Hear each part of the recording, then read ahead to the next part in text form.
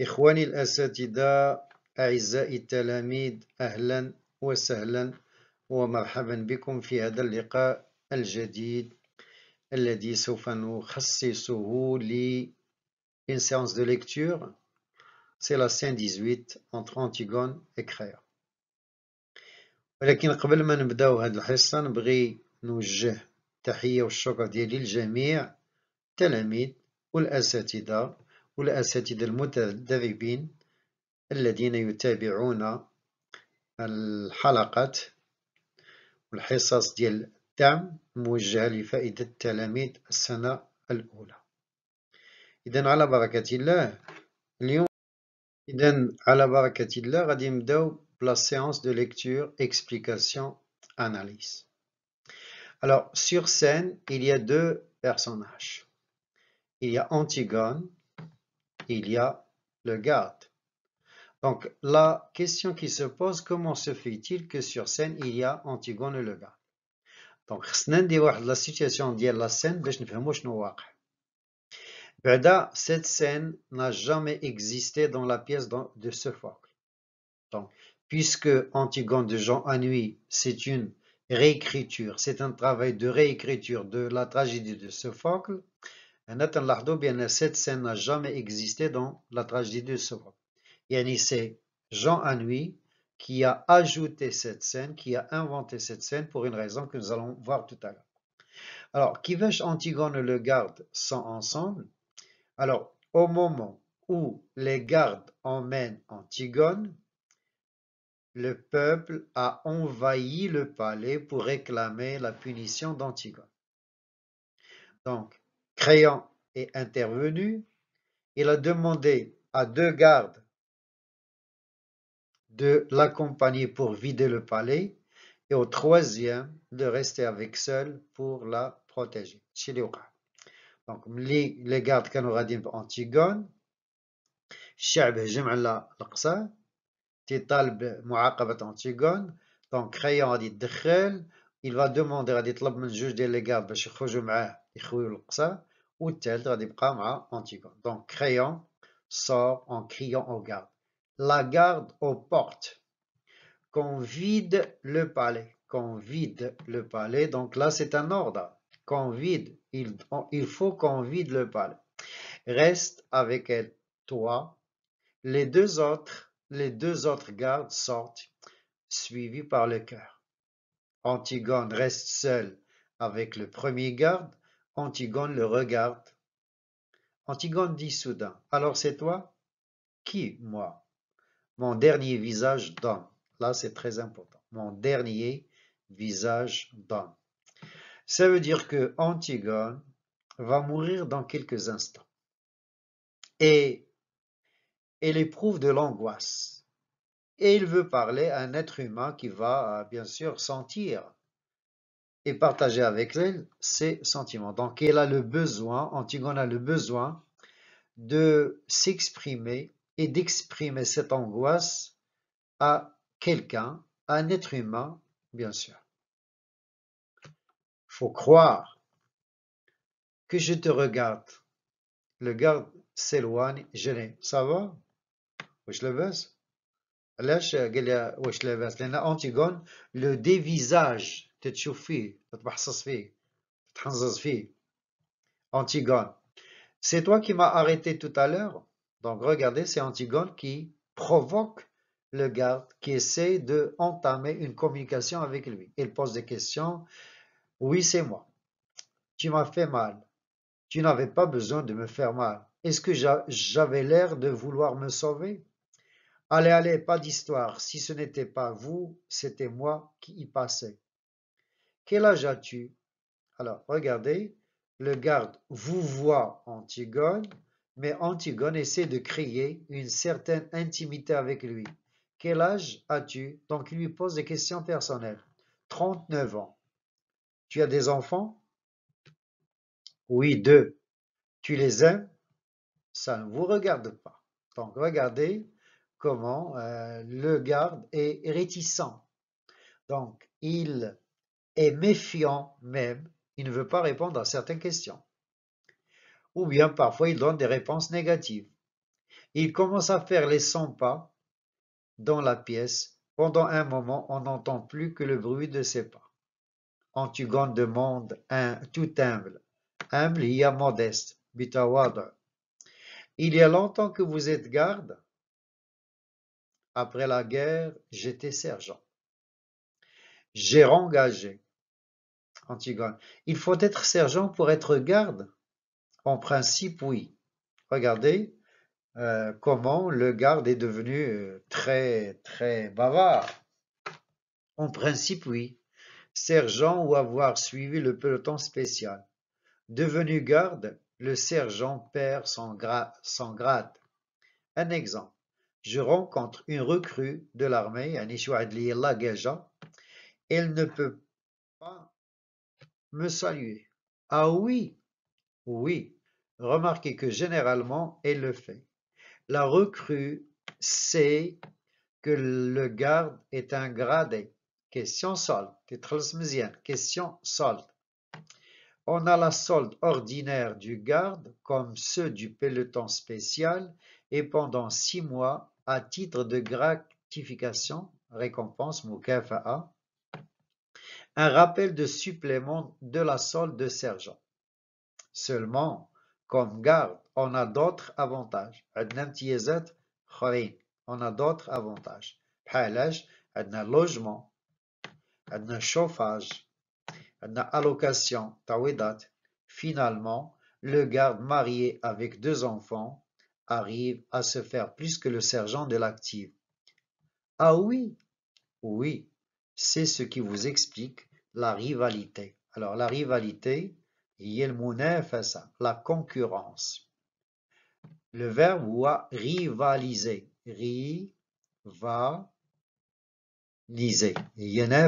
Rivaliser.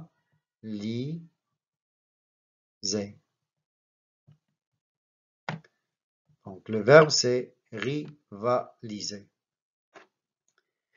C'est oui, c'est ce qui vous explique la rivalité entre le garde et le sergent. Vous avez peut-être pu remarquer que le sergent affecte de mépriser le garde. Mépriser, il y a ne pas respecter. Leur grand argument, c'est l'avancement. D'un sens, c'est juste. L'avancement du garde est plus lent et plus difficile que dans l'armée. Mais vous ne devez pas oublier qu'un brigadier des gardes, c'est autre chose qu'un sergent-chef. Antigone lui dit soudain, écoute. Alors, écoute, c'est bien sûr une manière d'attirer l'attention d'Antigone sur quelque chose qui l'intéresse, parce que tout ce que raconte le garde ne l'intéresse pas. Écoute, oui, je vais mourir tout à l'heure. Voilà le sujet qui tracasse Antigone. Voilà le sujet qui préoccupe Antigone, c'est sa mort. Je vais mourir tout à l'heure. Donc il veut parler de cette mort avec quelqu'un pour moins souffrir. Le garde ne répond pas. Donc là, il refuse de répondre. Donc soit il donne des réponses négatives, soit il refuse de répondre. Un silence. Il fait les 100 pas, au bout d'un moment, il reprend. D'un autre côté, regardez, il n'a pas répondu à la question, il a continué à parler du sujet qu'il était en train euh, d'aborder tout à l'heure. Alors, d'un autre côté, on a plus de considération, la considération ou le respect. Euh, pour le garde que pour le sergent de l'active. Le garde, c'est un soldat, mais c'est presque un fonctionnaire fonctionnaire Antigone, tu crois qu'on a mal pour mourir? Donc regardez les questions qui dérangent Antigone. Tu crois qu'on a mal pour mourir? Je ne peux pas vous dire. Pendant la guerre, ceux qui étaient touchés au ventre, ils avaient mal. Moi, je n'ai pas été blessé. Et d'un sens, ça m'a nuit pour l'avancement. L'avancement est taqiyya.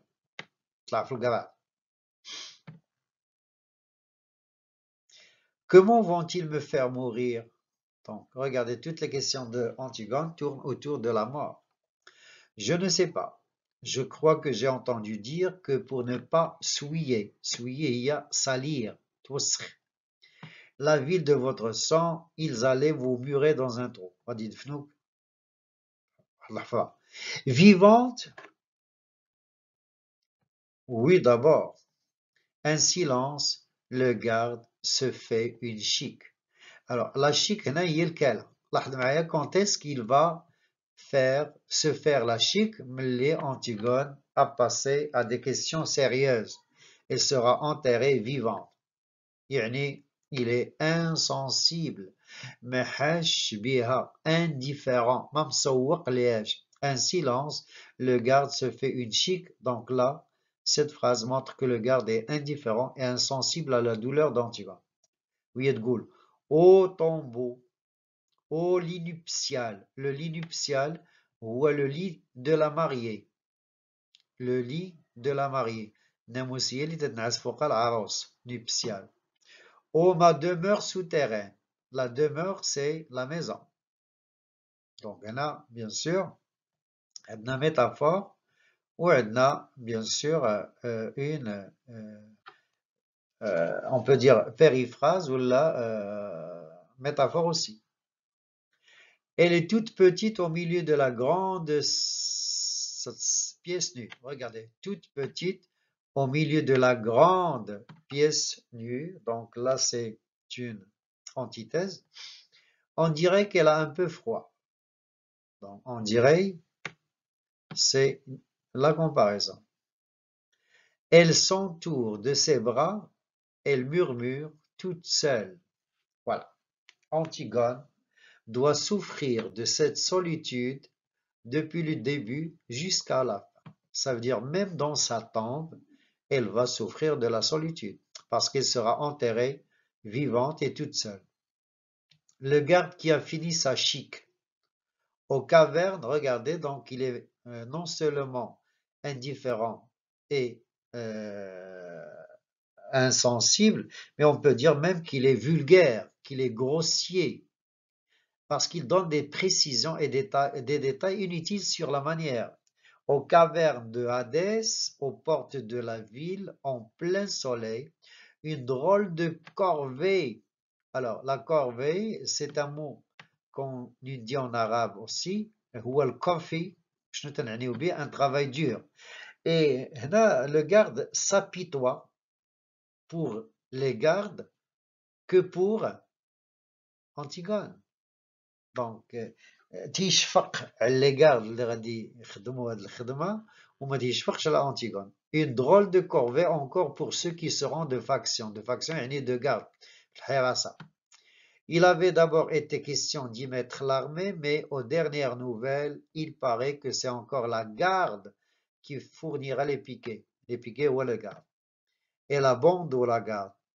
Étonnez-vous qu'après, étonnez-vous après qu'il existe une jalousie, alors jalousie, il y a le entre le garde et le sergent d'active.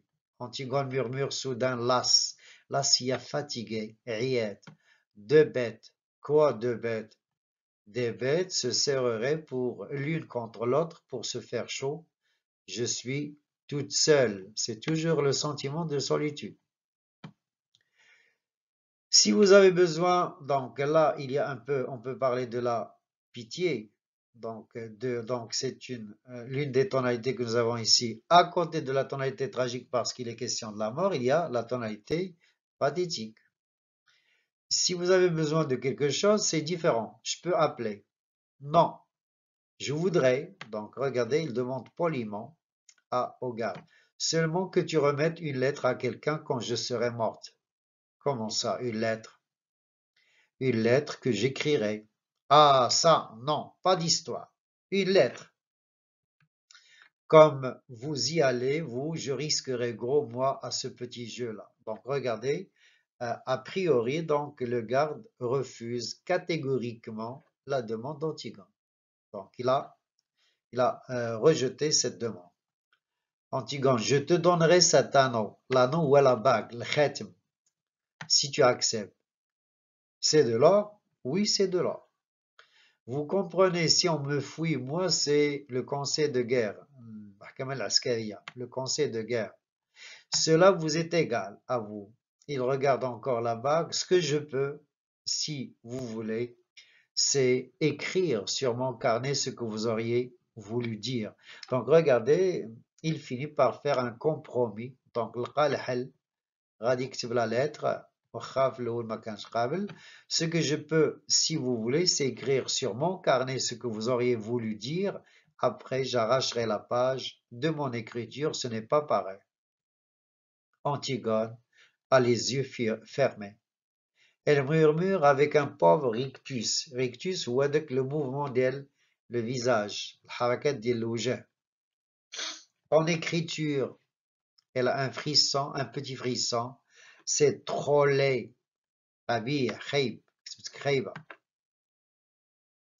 Tout cela est trop laid. Le garde vexé, fait mis de rendre la bague. Vous savez, si vous ne voulez pas, moi, Antigone, si, garde la bague écrit. Mais fais vite, j'ai peur que nous n'ayons pas le temps. Écris, mon chéri. Alors le garde qui a pris son carnet et suce sa mine, c'est pour votre bon ami. Mon chéri, j'ai voulu mourir et tu ne vas peut-être plus m'aimer. Le garde répète lentement de sa grosse voix en écrivant Mon chéri, j'ai voulu mourir et tu ne vas peut-être plus m'aimer. Alors, Écréant avait raison. C'est terrible. Maintenant, à côté de cet homme, je ne sais plus pourquoi je meurs, j'ai peur le garde qui peine sur sa dictée. Créant avait raison, c'est terrible. Oh, aimant, notre petit garçon, je le comprends seulement maintenant, combien c'était simple de vivre. Le garde s'arrête. Eh, dites, vous allez trop vite. Comment voulez-vous que j'écrive? Il faut le temps tout de même. Antigone, où en étais-tu? Le garde se relit. C'est terrible maintenant à côté de cet homme. Je ne sais plus pourquoi je meurs. Le garde écrit suçant sa mine. Je ne sais plus pourquoi je meurs. On ne sait jamais pourquoi on meurt. Antigone continue. J'ai peur. Elle s'arrête. Elle se redresse. Elle se dresse soudain. Non, raille. C'est le verbe railler. Non, raille tout cela. Il vaut mieux que jamais personne ne le sache. C'est comme s'il devait me voir nu et me toucher quand je serai morte, mais seulement pardon. Donc, Antigone va remplacer la première lettre par une deuxième. Donc, il a demandé au garde de remplacer la première lettre par la deuxième. Donc, pourquoi Antigone a demandé au garde de changer de lettre La réponse, est claire. C'est comme s'il devait me voir nu. Qui vais-je me voir nu Ça veut dire que dans la première lettre, Antigone se déshabille, dévoile certaines choses qu'elle ne doit pas dévoiler. Donc, تكشف بعض الحقائق اللي ما خصهاش تبينها بحال لا تتعذي راسها. Me voir nu, et me toucher quand je serai mort. dit Antigone va cesser d'être une héroïne. ملي غادي يقراو هاد الرسالة ما غادي يبقاوش يشوفوا في أنتيغون بحال بطلة الصورة ديالها غادي تخسر donc قالت لي mais seulement pardon mais seulement pardon alors je raille la fin et je mets pardon à la place et je mets pardon à la place. Oui, pardon mon chéri, sans la petite Antigone, vous auriez tous été bien tranquilles, je t'aime. Ah, il y a la deuxième lettre. Oui, pardon mon, mon chéri, sans la petite Antigone, vous auriez tous été bien tranquilles, je t'aime. Donc c'est une lettre plus courte que la première.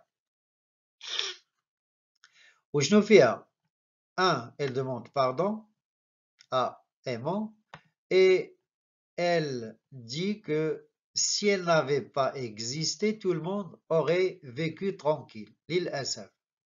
والوجود ديالها ما خلق إلا المشاكل. Sans la petite Antigone, vous auriez tous été bien tranquilles, je t'aime. C'est tout Oui, c'est tout. C'est une drôle de lettre. Oui, c'est une drôle de lettre. Et c'est à qui qu'elle est adressée Donc, et c'est à qui elle est adressée.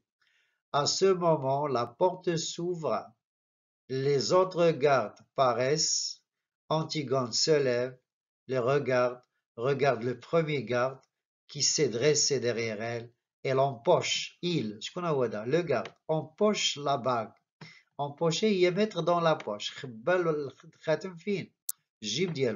la bague et range le carnet, l'air important. Il voit le regard d'Antigone, il gueule pour se donner une contenance. Le garde, allez, pas d'histoire. Antigone a un pauvre sourire, elle baisse la tête, elle s'en va sans un mot vers les autres gardes. Ils sortent. Malheureusement, cette lettre ne parviendra jamais à Aimant et donc la communication a échoué. Et donc, Antigone n'a pas pu communiquer ce qu'elle voulait nous dire.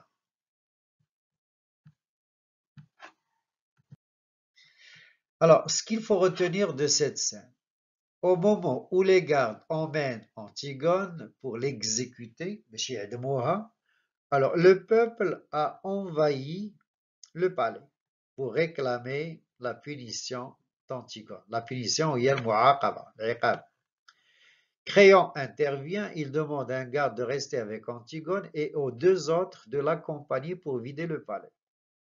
Antigone va mourir dans peu de temps. Elle éprouve le besoin, al-haja, de confier ses angoisses. Devant elle, le dernier visage d'homme, le garde. Elle veut entamer un dialogue avec lui, mais la communication est impossible pour beaucoup de raisons. La communication مستحيلة ما Antigone et le garde. Premièrement, le garde ne voit Antigone qu'en tant que criminel. Donc, le garde ne voit Antigone qu'en tant que criminel. Il est donc hostile et méfiant. Les deux personnages ne parlent pas le même langage. Le garde s'exprime dans la langue familière, mais Antigone recourt au registre soutenu.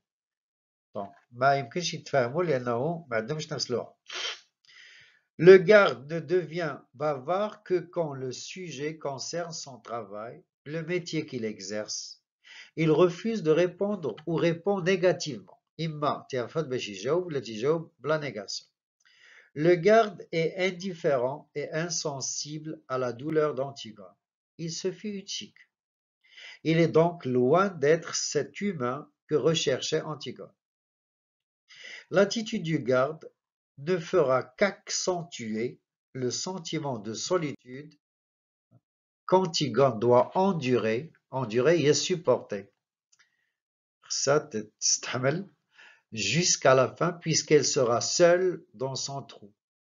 En effet, le garde l'informe sèchement que pour ne pas souiller la ville de son sang, il a été décidé de la murer dans un trou.